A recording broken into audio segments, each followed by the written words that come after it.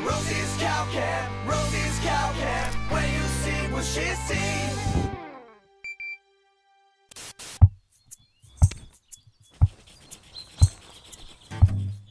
Oh, that looks interesting, Nate. It is. It's science. Let me explain. Do you know that all living things are made up of cells? Mm-hmm. And inside cells are genes. Mm-hmm. Genes are passed down from a mum or a dad to their child. Genes are what make us who we are.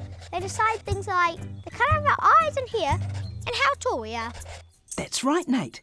And did you know that cows have 80% the same genes as humans? Whoa, really? Yep. Scientists are working hard to find interesting and important dairy cow genes that could help cows make more milk or be better for the environment. That's cool, Rosie. But if you and I share so many genes, does that make us like brother and sister?